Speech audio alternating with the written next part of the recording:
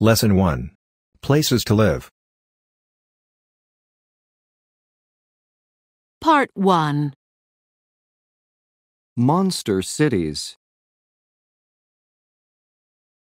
Are big cities wonderful places? Are they terrible? There are different ideas about this. William H. Whyte writes books about cities. He is happy in a crowded city. He loves busy streets with many stores and many people. He likes the life in city parks and restaurants. Many people don't like big cities. They see the large population of cities and they are afraid. Many cities are growing very fast. They are monster cities.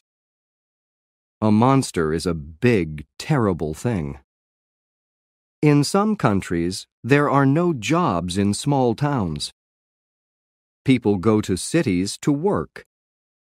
For example, 300,000 people go to Sao Paulo, Brazil every year. In China, about 183,000 people move to Beijing from the countryside every year. Sao Paulo and Beijing are both megacities. A megacity is a very, very big city. It includes the main city and the cities and towns around it. Mexico City is a megacity. It has a population of about 8,600,000 in the city itself, but there are more than 21 million people in the megacity. Tokyo is another megacity with over 8,200,000 people in Tokyo, but over 31 million in Tokyo and the cities around it. London is another megacity. There are about 7,400,000 people in London, and about 18,400,000 in London and the surrounding towns and cities. There are problems in all cities. There are big or mega problems in a megacity. In many U.S. cities, there are many people with no jobs and no homes. The air is dirty. There are too many cars. A terrible problem is crime. Many people are afraid of crime. People want to feel safe.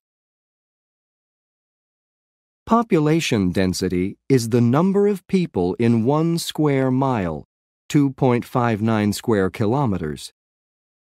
Population density is a big problem in many cities. In Miami, Florida, the density is only 7,748. In Bangkok, Thailand, there are 58,397 people per square mile. Is this crowded? Yes, but other cities are more crowded. Do you think William H. Whyte likes Hong Kong? The population density there is 247,501.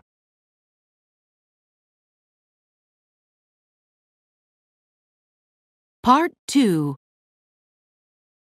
My neighborhood. My name is Elena Sanchez. I'm from Mexico, but now I live in California. I'm a student here in English language classes at a small college. I live in an apartment building. It's on the corner of Olive Street and Sycamore Avenue. My address is 2201 Olive Street. There's a big olive tree in front of the building. There's a park across the street. There are a lot of oak trees in the park. The trees are beautiful in the summer. A lot of my neighbors are from different countries. The people next to me are from Indonesia. The family across from the Indonesian family is from Colombia. The stores in this neighborhood are always busy. There's a Korean drugstore and an Armenian flower shop. A Chinese church is next to the flower shop. There are three restaurants on Olive Street one Mexican, one Japanese, and one Moroccan Italian American. I like my neighborhood, but I ask myself one question Where are the Americans?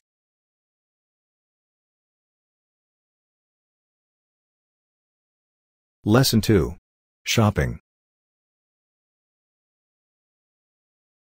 Part 1. Internet shopping. 25 years ago, very few people used the Internet. Only scientists and people in the government knew about the Internet and how to use it. This is changing very fast. Now, almost everyone knows about the Internet, and many people are online, on the Internet, every day. When people think about the Internet, they often think about information. But now, more and more, when people think about the Internet, they think about shopping. Amazon.com was one of the first companies to try to sell products on the Internet. Jeff Bezos started the company. One day he made a prediction about the future he saw that the World Wide Web was growing 2,000% a year. He predicted that it was going to continue to grow, and he thought that shopping was going to move to the Internet. People were going to shop online. He quit his good job and drove across the country to Seattle, Washington. There, he started an online bookstore called Amazon.com. Bezos had very little money. The company began in a garage, a building for a car. And at first, there were very few customers, people who buy things. At the Amazon.com site, people can search for a book about a subject, find many different books about that subject, read what other people think about the books, order them by credit card, and get them in the mail in two days. This kind of bookstore was a new idea, but the business grew. In a few years, Amazon.com had 10 million customers and sold 18 million different items in categories including books, CDs, toys, electronics, videos, DVDs, home improvement products, things that you use to fix up a house, software, and video games. Today, at a virtual shopping mall, a group of online stores, you can buy anything from gourmet food, special, usually expensive food, to vacations. Fifteen years ago, Many people said, online shopping is crazy. Nobody can make money in an online company. They were wrong. Today, Jeff Bezos is a billionaire. More and more people are shopping online, and online companies are making a profit. It is a huge business. But some people predict online business isn't going to grow anymore. They say customers are afraid of online crime and they will stop shopping on the internet. Are these people right? Nobody knows, but we'll soon find out.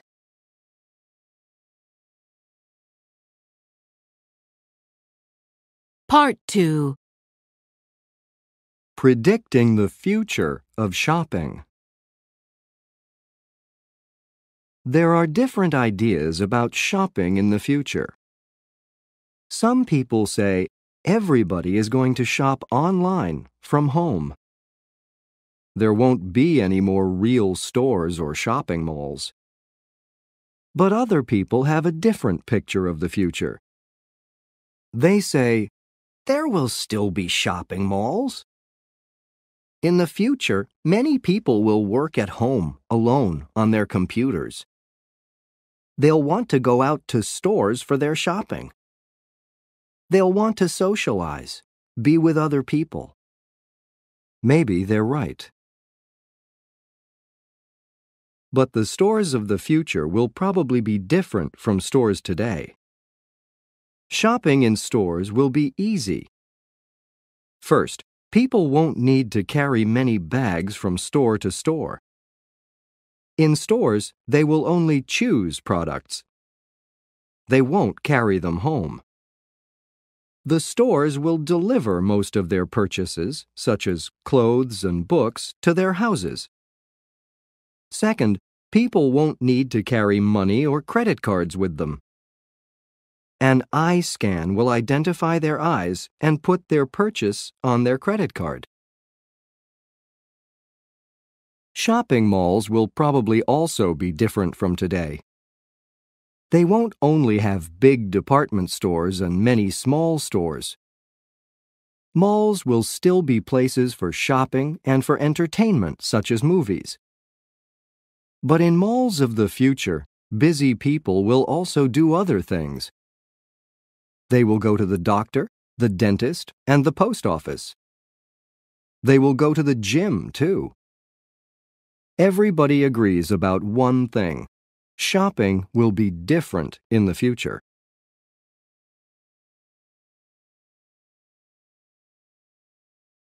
Lesson 3 Family. Part 1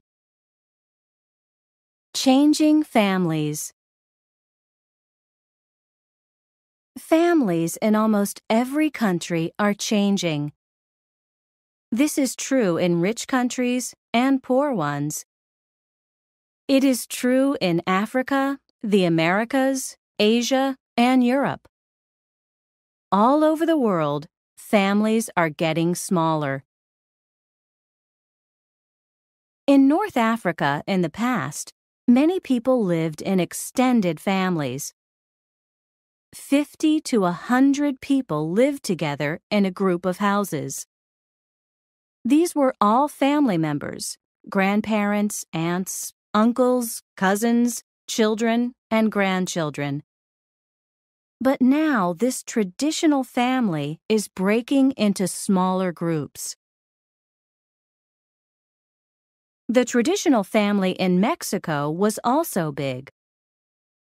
One generation ago, the average Mexican woman had seven children. Today, she has an average of only 2.5 children.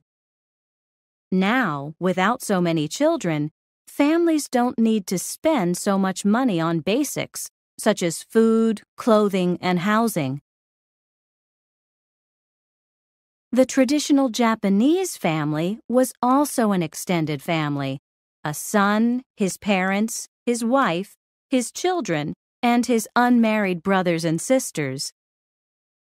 Three generations lived together. But this tradition is changing. Now, most families are nuclear families, parents and their children. And most Japanese parents have only one or two children. These families have new problems. Many men and women spend a lot of time at work. They don't spend much time together as a family. This can be very difficult. Some young women don't want this kind of marriage. They get a job and live with their parents. They say, I don't need to get married. In Europe, in traditional families, the woman stayed home with the children and the man had a job. But families all over Europe are changing. the number of divorces is going up. In Germany, 41% of all marriages end in divorce. In Finland, that number is 56%. Many Europeans don't get a divorce, but they don't get married either. In much of Europe, many people live alone. In France, more than 26% of women between age 30 and 34 live alone, and more than 27% of men of the same age live alone. The number of single parent families is going up too. In Denmark, 60% of all firstborn children have parents who are not married. The world is changing, and families are changing too. There are many new types of families, but most seem to be getting smaller.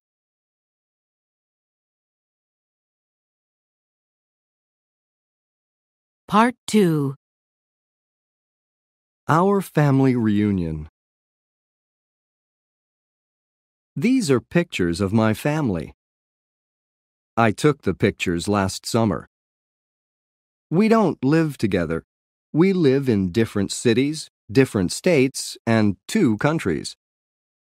But we often talk to each other on the phone or send email. Every summer, all the relatives come together for a week. This is our family reunion, and it's so much fun. There are two branches in our family, one branch from Mexico and one from the United States. People come to the reunion from California, Arizona, New York, and Florida. Other people come from Mexico City and Puerto Vallarta. We alternate the reunion place, one year in Mexico and the next year in Arizona. My great grandparents lived in Puerto Vallarta, and my grandparents now live in Arizona. At the reunion, we have a picnic one day. We play baseball, swim, and eat a lot. We play volleyball too. The women and girls are on one team, and the men and boys are on the other.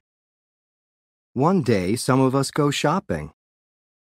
One night, we always have a big barbecue.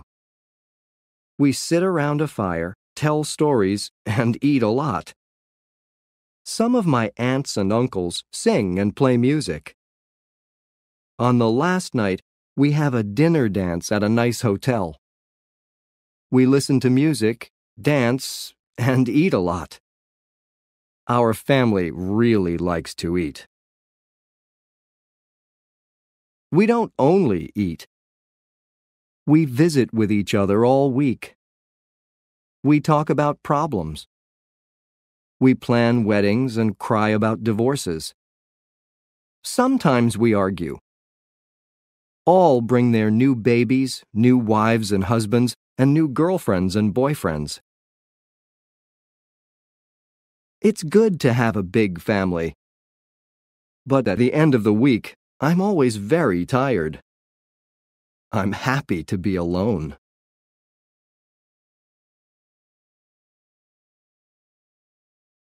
Lesson 4 Personal Health. Part 1 Health news for body and mind. Nobody wants to be sick. Everyone wants to be healthy, and most people want to have a long life too. But a healthy body is not enough. We all want both physical and mental health. What can we do to stay well? Most of us know some things to do. It's a good idea to exercise, for example, in a gym, eat fruit, vegetables, and fish, and drink lots of water. We also know things not to do. It's a bad idea to eat a lot of junk food, such as chips, ice cream, candy, donuts, and other foods with sugar or fat. It's a bad idea to be a couch potato, a person who watches a lot of TV and doesn't exercise. It's a terrible idea to smoke. But scientists now have new information about other ways to stay healthy. Some of it is surprising. Drink cocoa.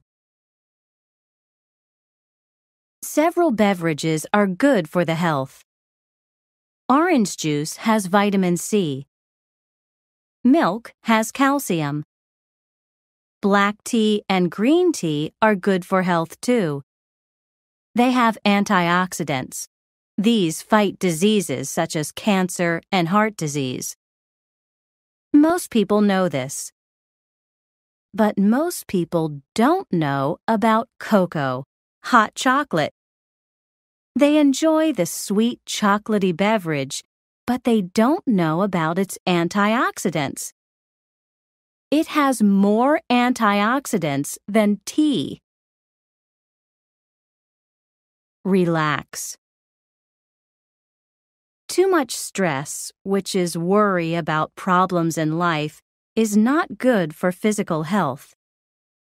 For example, it makes your blood pressure go up. Now we know more.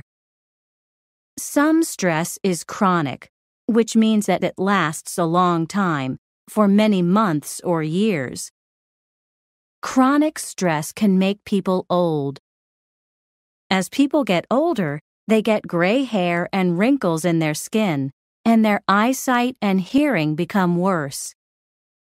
This is normal, but chronic stress makes people age, grow old, faster. A scientist at the University of California, San Francisco studies stress. She can now identify how stress makes people age. It can damage, hurt, the body's DNA. The lesson from this is clear. We need to learn to relax. Sleep. One easy and cheap way to help both your physical and mental health is just to sleep eight hours or more every night. But more and more people are not sleeping enough. According to the World Health Organization, over half the people in the world may be sleep deprived, which means they don't get enough sleep. Sleep deprived people often have medical problems, such as high blood pressure, diabetes, a problem with sugar in the blood, and heart problems.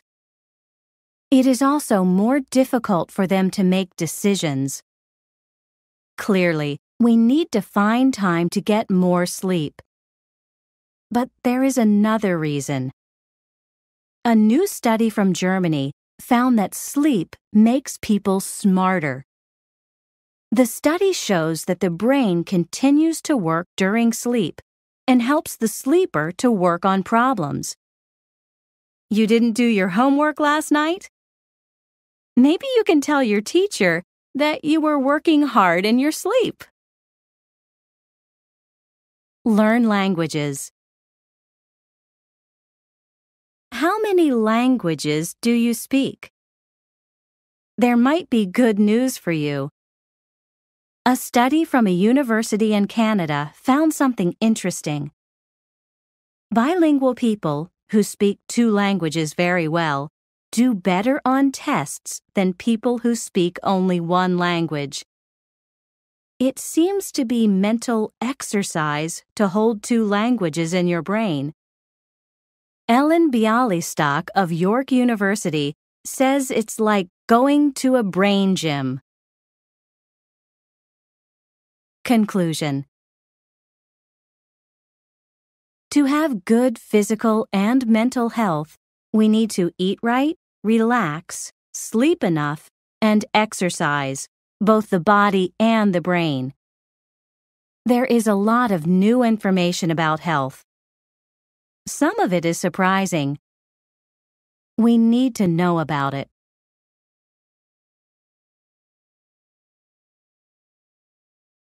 Lesson 5 Women and Men Part 1. Men's talk and women's talk in the United States. Marriage is often not easy. Love is often not easy. Sometimes friendship between a man and a woman is not easy. Maybe a man and a woman love or like each other, but they argue. They get angry. Later they apologize, but it happens again and again. What's the problem? Are men and women really very different? Deborah Tannen says yes. Men and women are very different. Tannen teaches at Georgetown University in Washington, D.C. She writes books about the ways people talk. She believes that men and women talk and think in different ways. She tells about some differences in her book, You Just Don't Understand. It begins in childhood. The differences, Tannen says, begin when men and women are children. Very young boys and girls are similar to each other.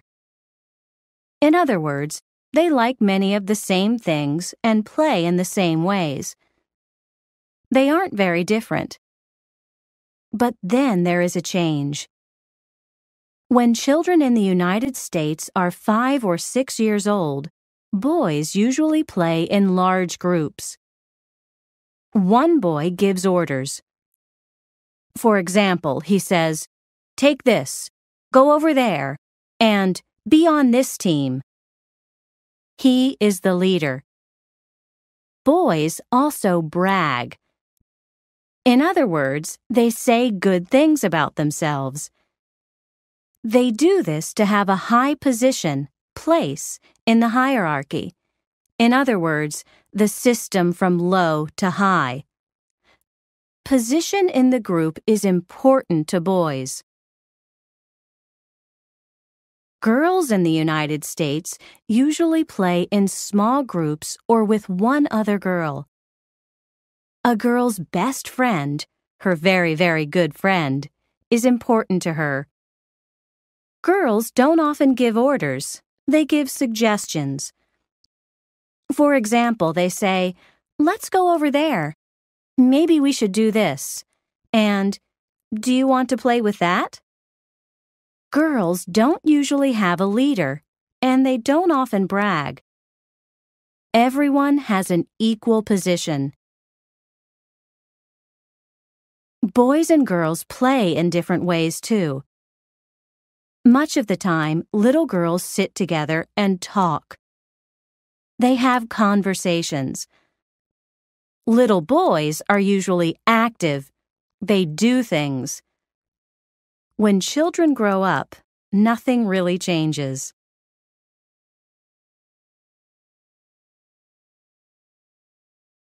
Who talks more and why? Many people believe that women talk more than men do. According to Deborah Tannen, this isn't exactly true. She says women talk more than men only in private situations, at home, with family, or with a few friends. In public situations, in other words, in a big group or at work, men talk more. Tannen says that men and women often talk for different reasons. Men talk to give or get information. They also talk to get or keep a high position among other men. But for women, people and feelings are important. Women often talk to socialize and show interest and love.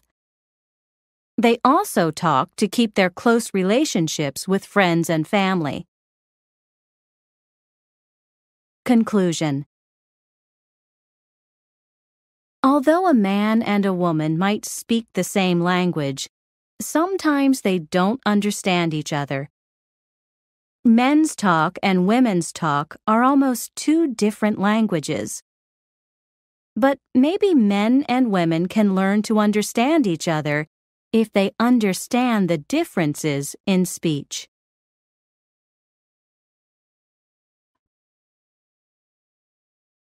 Part 2 He said, she said. A U.S. couple. Well, doctor, I'm beginning to worry about my marriage. My wife and I just don't understand each other. She doesn't like to do things with me. She won't play tennis or baseball with me. She doesn't like to fix the car with me. She doesn't work on the house with me, you know, paint the house or fix the roof. She doesn't listen when I talk about interesting things, sports, money, or world politics. Sometimes she gets angry with me about unimportant things. And she talks and talks and talks about uninteresting things. What's wrong with her? Well, doctor, I'm beginning to worry about my marriage. My husband and I just don't understand each other. We both work full time, but I do all the work at home. You know, fix dinner, wash clothes, and clean the house. His life is easy. He has only one job. I have two. Sometimes I feel so lonely. When he's home, he reads the newspaper or watches TV. He doesn't talk with me, he talks at me. He only talks with his friends. He doesn't listen if I tell him about my day. He isn't interested in our friends and relatives. Sometimes he gives me orders. Sometimes he tells me about sports or politics, I don't like it because I feel like a student in school. What's wrong with him?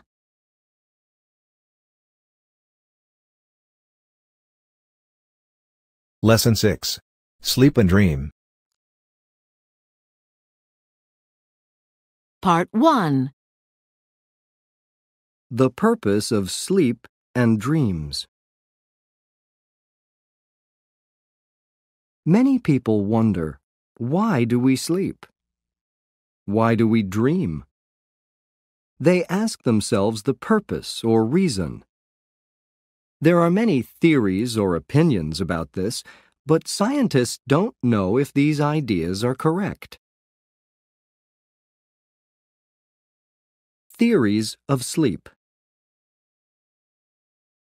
One theory of sleep says that during the day, we use many important chemicals in our bodies and brains. We need sleep to make new chemicals and repair or fix our bodies. This theory is called the repair theory. One piece of evidence for this theory is that our bodies produce more of a growth hormone, a chemical that helps us grow, while we sleep. Another theory is that the purpose of sleep is to dream. Dreaming occurs or happens only during one stage or period of sleep REM, rapid eye movement sleep.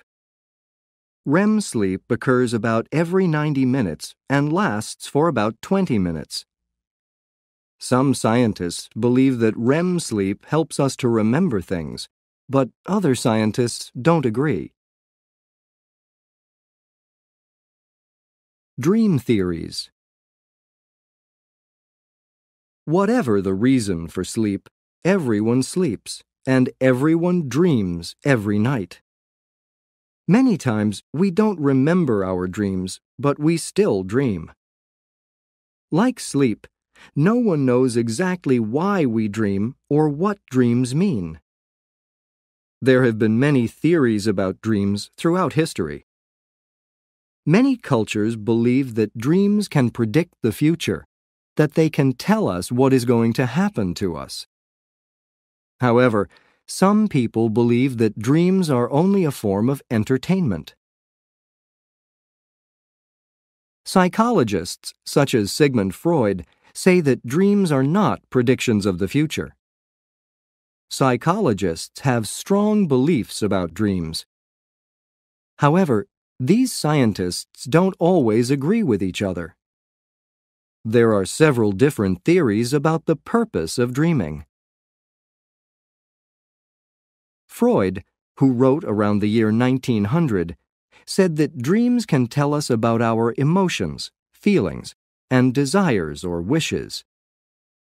Freud believed that our dreams are full of symbols. In other words, things in our dreams mean other things. For example, a road in a dream isn't really a road. It might be a symbol of the dreamer's life. Freud thought that dreams are about things from our past, from our childhood.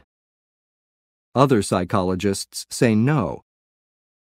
They believe that dreams are about the present, about our ideas, desires, and problems now. Other psychologists say that dreams have no meaning at all. New evidence. We still don't know why we dream. However, there is interesting new evidence from research or studies about the brain. When we are awake, many parts of our brain are active. For example, the parts for emotions, vision, the ability to see, logic, the ability to think and understand, and others.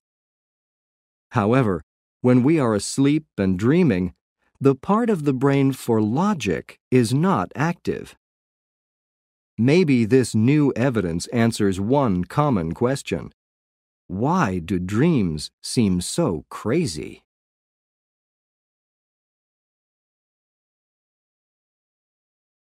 Part 2 A Dream Narrative This is the dream of a 40 year old businessman he is married and has two children. He goes to a psychologist because he feels anxious a lot. The psychologist told him to write down his dreams. This is his dream from June 7th. Dream, June 7th. In my dream, I was in a large city. It was very big and very dark. The city seemed like New York, but it didn't look like the real New York. I was in a friend's apartment. It was comfortable. After a few minutes, I left and went out on the street alone. I walked for a while. Then I realized I was lost. I couldn't find my friend's apartment again. I started to feel uncomfortable. I tried to return to the apartment, but all of the streets looked unfamiliar and completely different, and I didn't know my friend's address. I began to feel anxious. I kept walking. I wanted to find something familiar. It was getting late. I decided to go home. I knew my home was outside the city. I saw buses on the street, but I didn't know which one to take. I couldn't find a way to leave the city. There was a way to get home, but I didn't know it. I asked for directions. The people answered, but they didn't make any sense. All their directions were very complicated, and I couldn't understand them. Suddenly, I was on a boat. The boat was traveling across a very dangerous river. It was dark. The river was very dirty.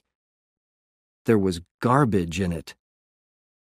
I couldn't see the other side of the river, and I was afraid. I began to think I'll never get home. I tried to ask for help, but no one listened to me. Then I woke up.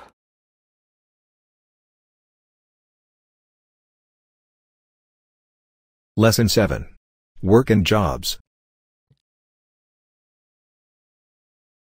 Part 1. Volunteering. Some people go to work each day and then come home. They spend time with their family and friends. Maybe they watch TV or go to a movie. Sometimes they exercise or read. This is their life. But for other people, this isn't enough. They look around their neighborhoods and see people with terrible hardships sickness, loneliness, and homelessness. Other people see problems with the environment. Many people want to help. They volunteer. They give some of their time to help others. Volunteers help in many ways. Some visit sick and lonely people. Some give their friendship to children without parents. Some build houses for homeless people. Others sit and hold babies with AIDS. Andy Lipkis was at summer camp when he planted his first tree. He began to think about the environment. In many countries, people were cutting down trees. Andy Lipkis worried about this. In 1974, he started a group, Tree People, to plant trees pine, elm, cypress, and eucalyptus. They also began to plant fruit trees in poor neighborhoods because fresh fruit is often too expensive for poor people. Today, there are thousands of members of Tree People, and more join every day. They plant millions of trees everywhere to help the environment and people. Ruth Brinker wasn't planning to change the world. Then, a young friend became sick. He had AIDS. Soon he was very sick and he couldn't take care of himself. Brinker and other friends began to help him. In 1985, Brinker started Project Open Hand. This group cooks meals and takes them to people with AIDS. Soon, Project Open Hand volunteers were cooking many meals every day and delivering them to people who couldn't leave home. Today, volunteers prepare 2,000 meals daily. Ruth Brinker didn't plan to change the world, but she is making a change in people's lives. Only three volunteers began the Marine Mammal Center in Northern California in 1975. Today, there are 800 volunteers. They work with mammals. Mammals are animals that feed on their mother's milk when young. The volunteers help sick ocean mammals, seals, sea lions, and sea otters. The sick animals become well and strong. Motherless baby animals grow big and healthy. For many weeks, or sometimes months, volunteers help to feed and take care of these animals. They also work in an educational program that teaches people about these animals. The volunteers don't get any pay for their hard work. Their pay is the good feeling on the day when they can release a healthy animal, take it to its home, the ocean, and let it go free. 30 or 40 years ago, most volunteers were housewives. They volunteered time while their husbands were working. Today, both men and women volunteer, and teenagers and children too. There are volunteers from all social classes, all neighborhoods and all ages. Most aren't rich or famous. They enjoy their volunteer work. People need them. Today, the world needs volunteers more than ever before. Perhaps a young Zulu boy from South Africa, Nkosi Johnson, said it best.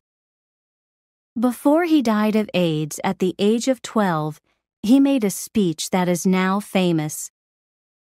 In this speech, he said, Do all you can with what you have, in the time you have, in the place you are.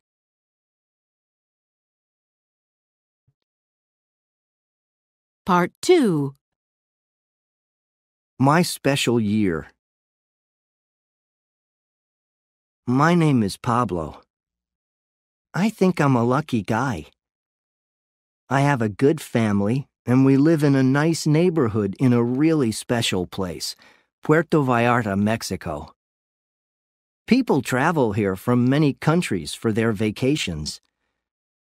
We have beautiful beaches, hotels, restaurants, shopping, and sports.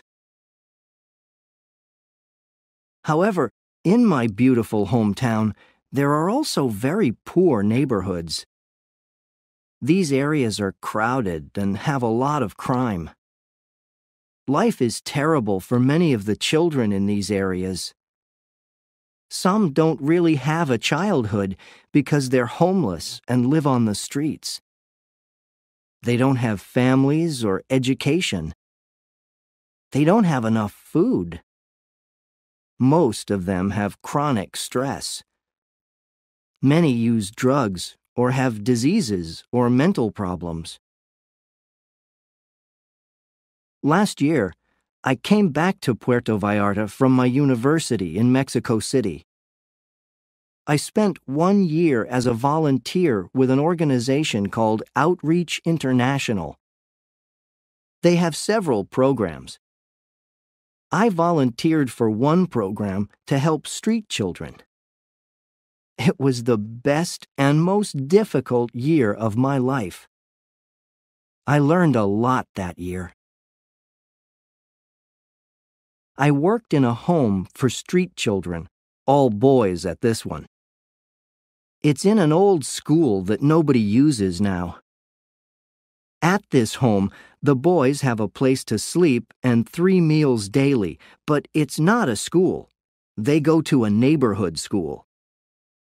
The home keeps the boys off the streets. It shows them another way of life. As a volunteer, I helped to prepare meals. I taught games such as basketball and football and art. I helped the kids with their homework. These kids can be fun. They have a lot of energy, but they're also really tough. Their hardships on the streets make them strong, and not always sweet little children. At this boys' home, I met two other volunteers Brian from Canada and Greg from Australia. In many ways, we were very similar. We were the same age, came from good homes, had a good education, and liked to travel. They were both college students, like me. We became friends. I helped them with Spanish, and they helped me with English. They came to meet my family, and we had fun together. Now we email each other but more than anything, I will always remember the children. I hope their lives can be better in the future. The contrast between their lives and my life is big. I hope they can have a good life, like I do.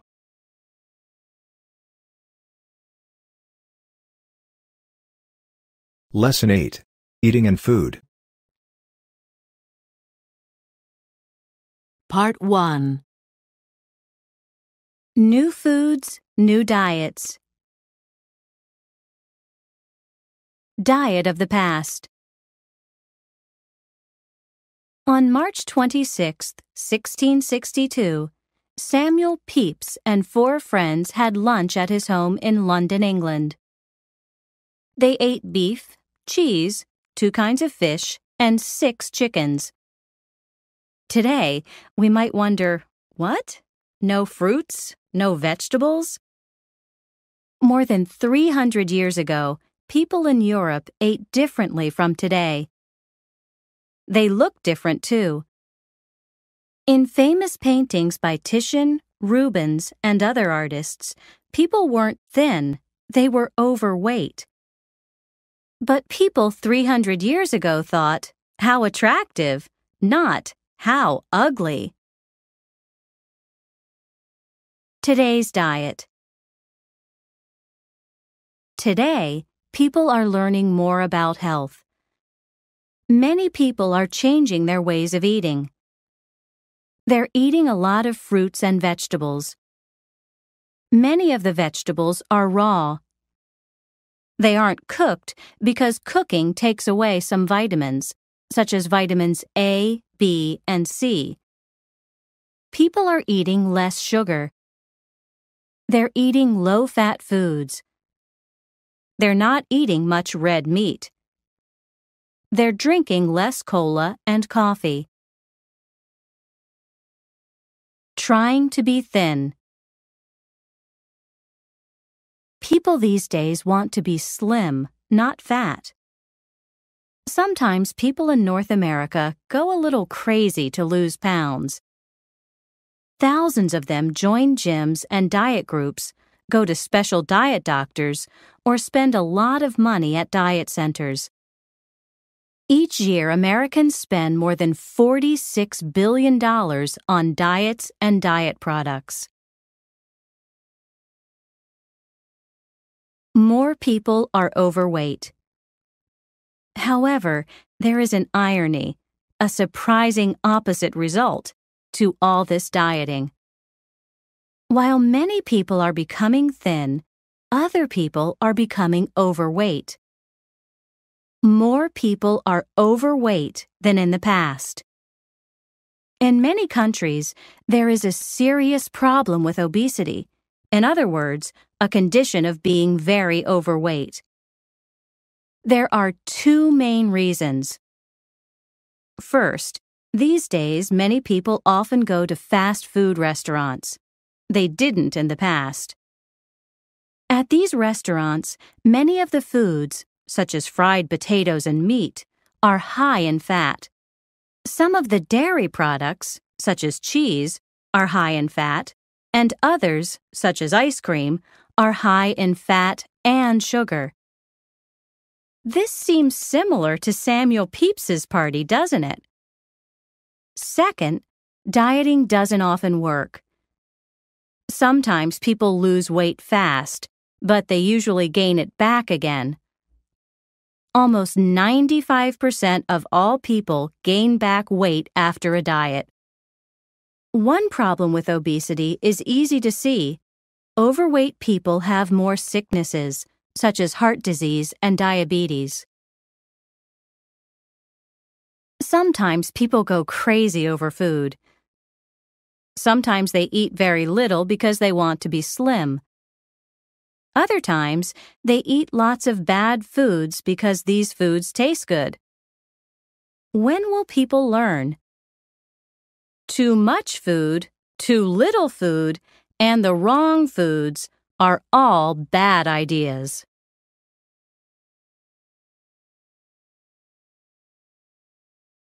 Part 2 Eating bugs. Different cultures enjoy different foods. Sometimes a food that one culture thinks is delicious might seem disgusting to another. In much of the world, people eat beef, but the idea of meat from a cow disgusts some Hindus in India. People in France sometimes eat horse meat or frogs, and this disgusts some Americans. People in Western countries eat cheese, and many Asians think that this is disgusting. And then there are insects. Many people wonder how can people eat bugs? Children in the U.S. make horrible faces and say, Ooh, yucky. However, insects are an important part of the diets in many countries. In different places, people eat over 1,000 types of insects and ate them in the past, too. For example, people in ancient Greece and Rome ate insects. American Indians ate grasshoppers, crickets, and caterpillars. Today, in parts of Africa, people eat termites, insects that eat wood, and caterpillars as snacks. In Japan, some people eat grasshoppers with soy sauce. In small villages and in some restaurants in Thailand, people enjoy crickets and grasshoppers. In some Mexican restaurants, people pay $25 for a plate of butterfly larvae. In the United States, some restaurants now offer insects as a gourmet food. In China, people spend a $100 million each year on ants. There are different ways to prepare bugs as food. One way is to boil them in very hot water. In Colombia, some people spread them on bread. In the Philippines, people fry them in butter with vegetables. In Mexico, people fry them in oil or marinate them in lemon juice, salt, and chili. In some parts of Africa, some people bake or fry them. In other areas, they eat them raw. However, entomologists, scientists who study insects, say that it's important to cook insects, not eat them raw. In the United States, a company called Hotlix now sells candy with insects in it. Julieta Ramos Elorduy, a researcher at a university in Mexico City, says that there are many good reasons to eat bugs. First, insects are a cheap food, except on a plate in an expensive restaurant, and they taste good. Some insects taste like nuts, bacon, mint, or cinnamon. Second, bugs are good for our health. For example, they often have more protein than beef or fish. Third, they can bring money to poor people who find them in the forest and sell them. In parts of Africa, there are seven pounds of insects on just one tree, this brings a good profit for very little work. Finally, eating insects can help to save the environment. In many countries, people cut down trees. However, they will not do this if the trees have insects to eat or sell. People worldwide are now eating foods from other countries people in the West now enjoy Japanese sushi, a small roll of cooked white rice served with a garnish of raw fish, vegetables, or egg. People everywhere eat Italian pizza and American hamburgers. Maybe someday, in a fast food restaurant in any country, a customer will say, Give me a hamburger and an order of caterpillars, please. In the future, Insects might be as familiar to us as rice, bread, or beans.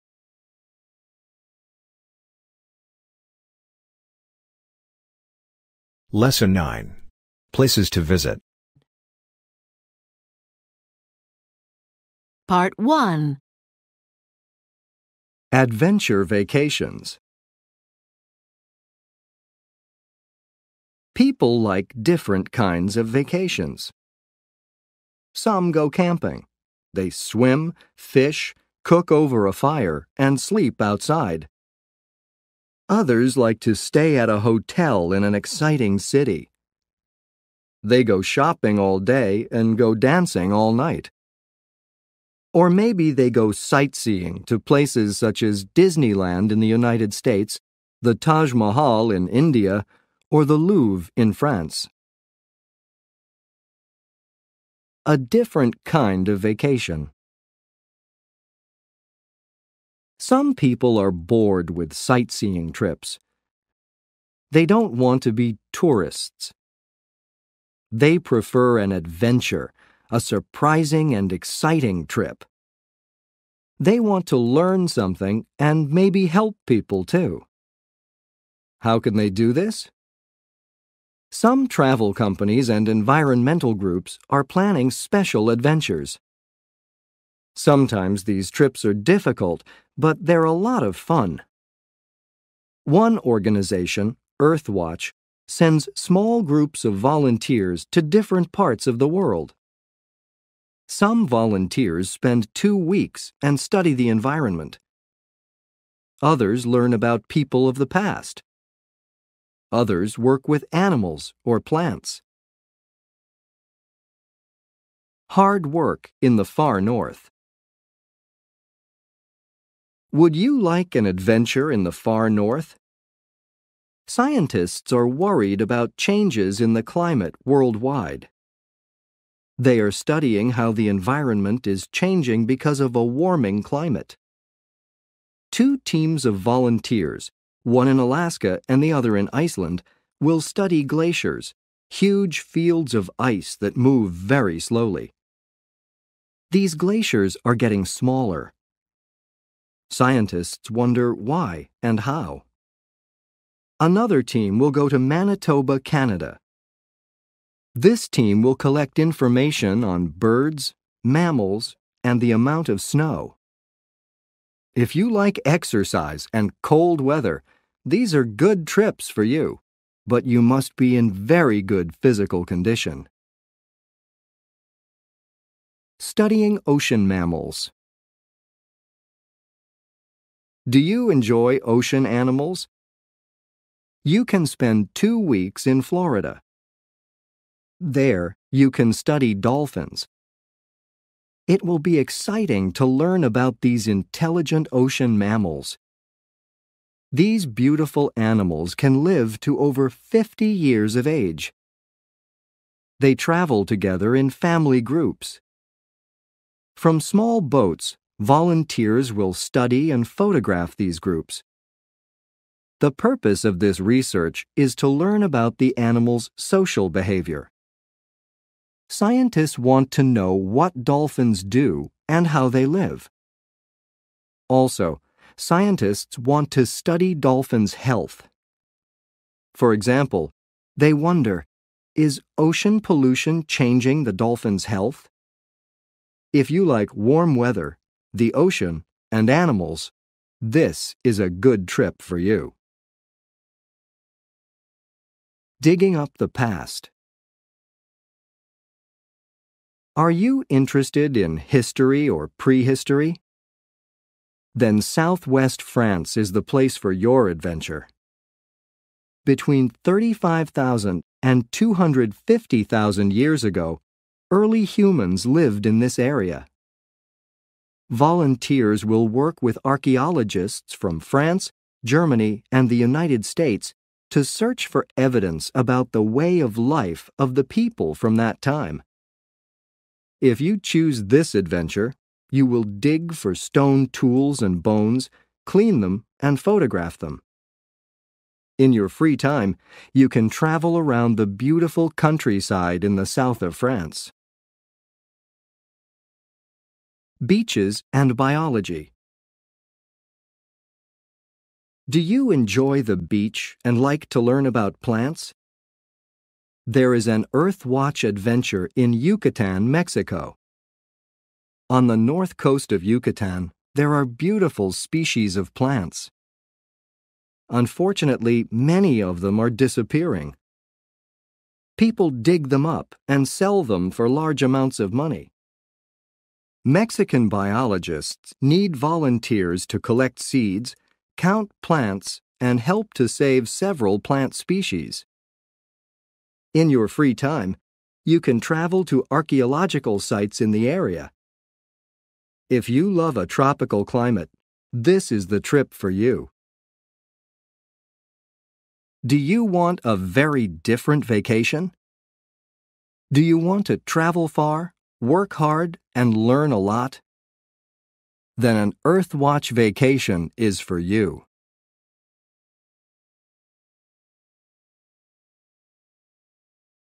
Lesson 10. Save the Earth.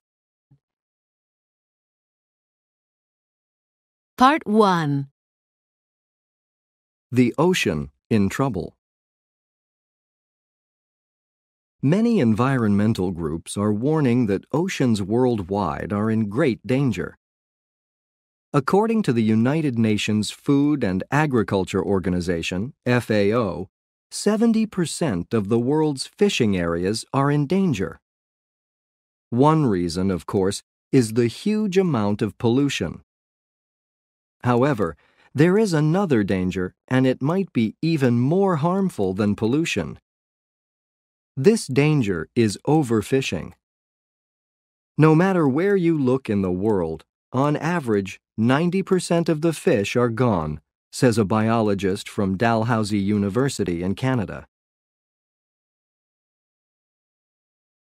New technology. Fishers are finding fewer and fewer fish everywhere. However, this does not mean that fishermen are not fishing any longer. Instead, many are using new technology to fish new waters as deep as a mile. Trawlers, large fishing boats, are using special nets on wheels and rollers. They drag these nets across the bottom of the deep oceans, and they pick up anything of any size at all.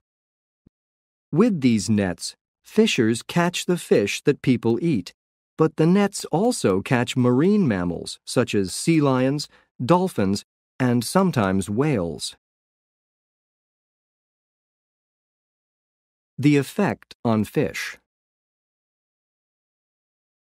These nets also take species like squid, skate, red crabs, slackjaw eels, spiny dogfish, and orange roughy. A few years ago, people didn't want to eat these species.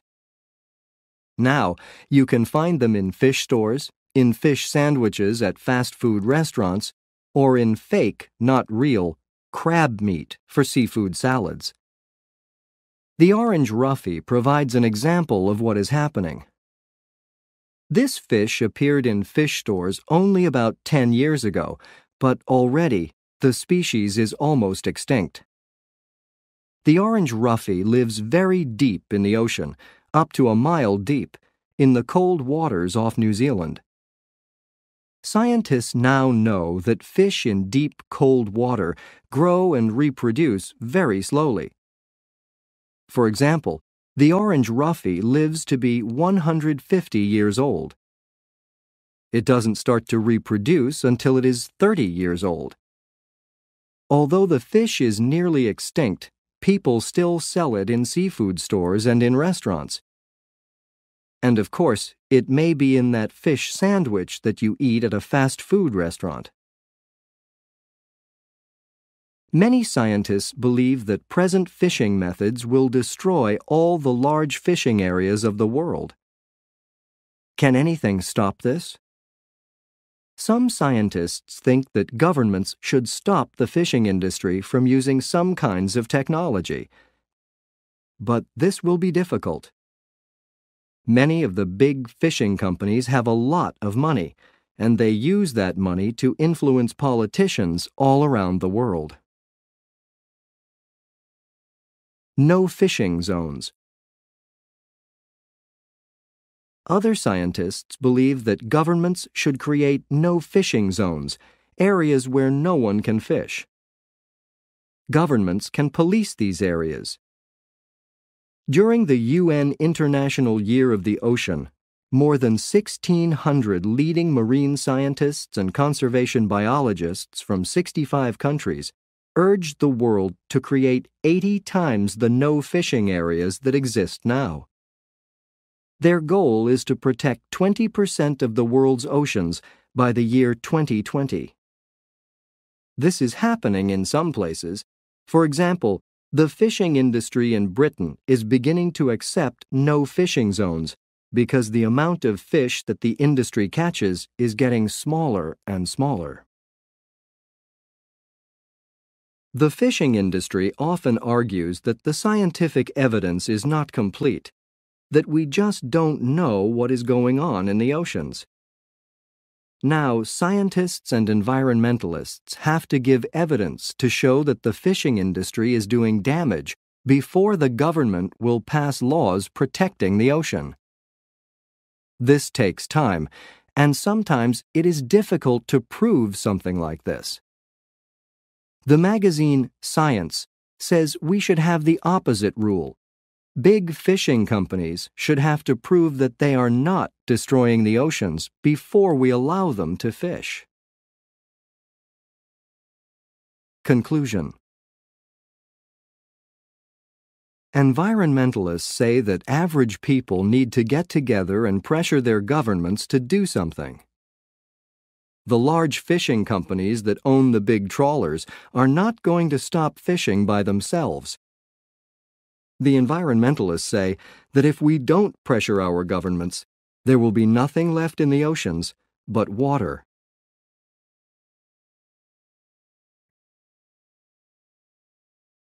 Part 2 Repairing the environment. Early life on Easter Island. Easter Island is a very small island in the Pacific Ocean. In the ancient past, the island was covered with vegetation, such as beautiful forests, and the surrounding ocean was rich in fish. The human population grew to about 9,000 people. Today, we know them for their art hundreds of huge, amazing statues that are made of stone. Over several hundred years, the people created larger and larger statues. The Changing History For about 700 years, life on Easter Island was good. However, by the 15th century, people suddenly stopped creating the statues. Also, the environment completely changed. The earth didn't produce enough food for the population. The forests were gone because people cut down all the trees. Without trees, they couldn't even build canoes, a kind of small boat. And for this reason, they couldn't go fishing the society was destroyed. The people were hungry. When Europeans arrived in 1722, there were only about 2,000 people left. Easter Island as an example. Scientists often mention Easter Island. They see it as an example of the damage that humans can do to the environment. They say that our Earth is like an island. When we destroy it, we destroy ourselves. They say that we are now destroying it. Like the people of ancient Easter Island, we are cutting down forests. Worldwide, the environment is changing. The climate is becoming warmer. Glaciers are melting. Pollution fills many rivers and lakes and the air of many cities. And every year, about 20,000 plant and animal species become extinct. What we can do. Some people see this situation as hopeless but environmentalists say that it isn't too late. There are things that we can do. Governments and big companies need to make big changes, but every individual can make many small changes. All these small changes can add up. They can make a big difference. Here are just some. Plant trees. Trees absorb, drink in, the carbon dioxide, CO2, that factories put into the air. Buy organic fruits and vegetables, ones without dangerous chemicals. These are good for your health and good for the earth, too. Reuse containers. In other words, don't throw empty plastic food containers into the trash or garbage. Wash them and use them again. Also, use plastic bags many times. When you throw away a plastic bag or container, it stays in the earth for thousands of years. Don't use paper or plastic bags. Bring a cloth bag with you to the supermarket. You can use the same cloth bag over and over for years. Recycle things that you can't reuse. You can recycle aluminum cans, glass bottles, some plastic containers, and newspapers. Use compact fluorescent light bulbs. They last 10 times longer than regular light bulbs, so they save you money.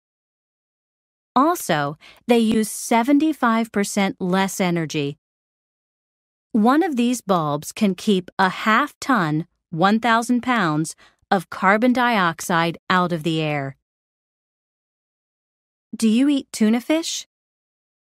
If so, look carefully at the can. Buy only tuna that is dolphin safe.